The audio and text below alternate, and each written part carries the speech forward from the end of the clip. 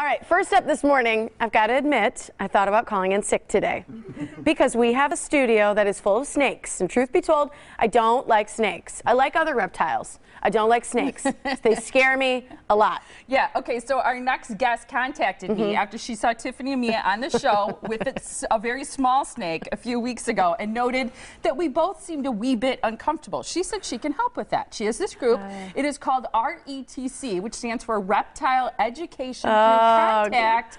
So please welcome Cheryl Sterrenburg, and this is Justin Kubeck. He's a volunteer. And That one's me. okay, what, what's up with the guy with the snake that's like boa? probably weighs as much as Tiff? Yeah, that boa constrictor What is is- clearly 100 pounds, just like up with- me. what kind of snake is that? Oddly that? enough, not a boa. It's actually a Burmese python.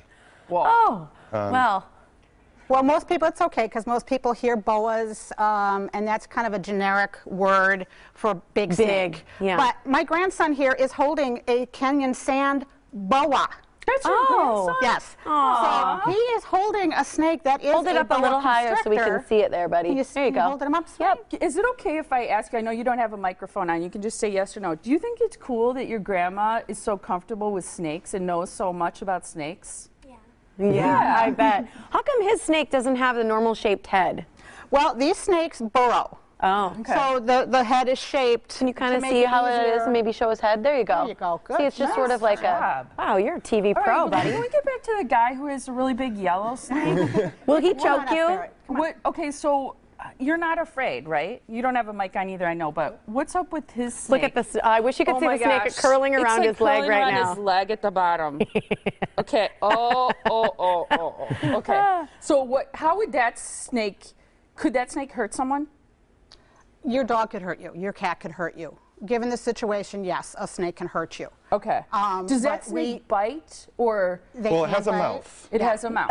So usually things with I mean, mouth you can, bite your mouths can bite. he bites his food. Okay. So, I mean, all of the snakes that we use d- uh, in the demonstrations have gone through uh, levels of testing to make sure that they tolerate what we do with them extremely well. Okay. If at one point a snake says, I'm not happy with this, then they go back to square one and start over again. Okay. Uh, you gotta- know they're happy? They're happy. We don't say they're happy. They tolerate. they're Oh, not. okay. unha- they're not unhappy, if you want to call it that. Mm-hmm.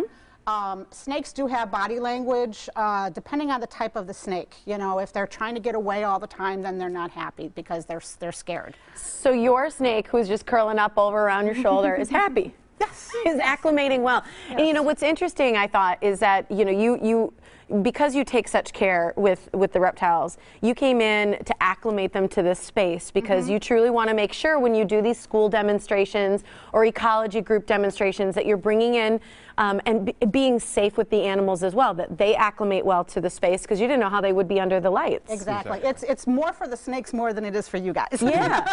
Why do you think they're so under, misunderstood? Why do you think we have this? And so many of us, I feel, is this almost like innate, like jitteriness uh, around snakes. I don't think they're slimy. They look slimy. You know what I mean? I, I don't think that they're going to hurt me, but I just like I feel so Well, nervous. They are alien. Obviously, they don't have any legs. They move a lot differently than any other animal that we're used to being around. And you do have the movies, you know, Anaconda and Snakes on the Plane, and, and, and sadly other medias that do give them a bad reputation. Um, they don't research before they put on an article or something mm-hmm. like that. So you you go to school groups, Mm-hmm. you go to ecology centers, mm-hmm. you share what you know, you, you bring them because your hope is that by interacting with them, maybe even touching them, people it'll sort of demystify snakes. Exactly. And we don't, there's a lot, there's other groups out there that teach, like give classes. Mm-hmm. Okay. Our, our goal is to get people comfortable around petting them, holding them, so that they'll go on to learn mm-hmm. more about them. You know, we're kind of like the, the, the bottom of the totem pole, if you want to call it. and you are kind of petting your snake. Do they mm-hmm. like that? She tolerates it. Yeah. Okay. I like You know, that. I mean, we don't, we don't like to humanize the snakes. They are wild animals. Yeah. We don't like to humanize them. Um, I did have a snake, however, that when I would open up his lid, he would come out of his hide, put his head on top of the enclosure, and he would sit there until I rubbed the bottom of his chin, and then he'd go back down again. Really? So That's I have to say, yes, he liked it. Yeah, Okay. right. What does tell tell me just quickly what the, all these snakes Mm-hmm. eat? Well, all of these snakes eat uh, what we call frozen thawed feeders, Mm-hmm. so that they were humanely uh, euthanized and uh, and frozen, and then we thaw them up, uh, thaw them out, and get them really warm. Mm-hmm. So it'd be Um, like and- mice or rats. Mice, rats, Mm-hmm. the bigger animals take bigger, bigger feeders. This particular snake eats rabbits. Mm-hmm. I love rabbits. And people love rabbits, but you know what? Other wild animals eat rabbits too. So Yes, they know, do. The, the, the, the cute foxes and stuff, they eat rabbits too. So They do. Oh, yeah. And dogs. and dogs. Dogs They eat rabbits. dogs, too. Well, dogs eat rabbits. Dogs Yeah. eat rabbits. Oh. Circle of life. Yeah. It is. Okay, yeah. I mean- what kind of snake is she holding with the, what's your name? Courtney. Courtney, what kind of snake is she holding that's so multicolored like that? That is uh, the Puebla. She's a Pueblan milk snake. Okay. Okay. And we have another milk snake here. Yeah, that one's just hanging out. And Yeah. I'm not going to open up with you. That right one's there. stone cold Thank you. chilling. Um, yeah.